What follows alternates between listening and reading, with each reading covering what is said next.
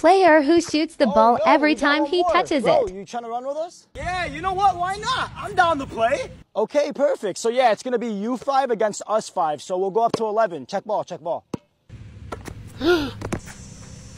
Whoa! Why would you just shoot the ball?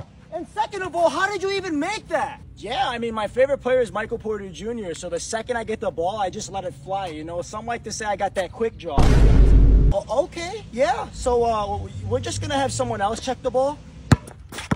Yup, I see you. I'm open. I'm open. Bro, you make no sense. The shot is 10 times harder that way. Take your time. Well, I made it, didn't I? Okay, one shot. Let it hit the rim. Take your time. Nah! You not even have a free throw routine? Bro, I don't think you understand. Like, I don't think. I just shoot.